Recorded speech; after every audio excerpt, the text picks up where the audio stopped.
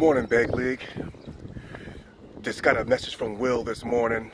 Uh, kind of messed me up a little bit.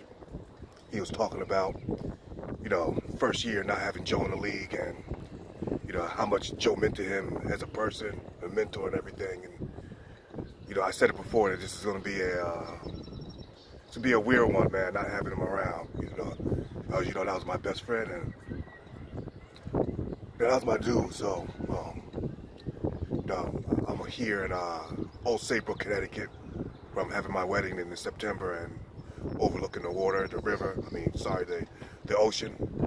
I don't know, man. It's just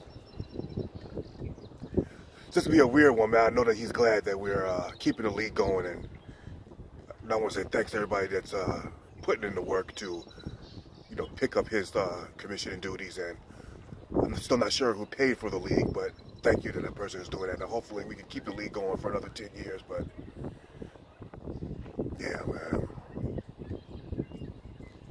Just to be a weird one.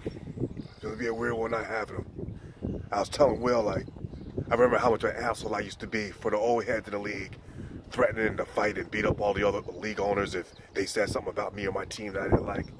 You know, and then Joe would pull me to the side and tell me how idiotic I look for threatening someone over the internet over some something so petty. But a lot of memories, man.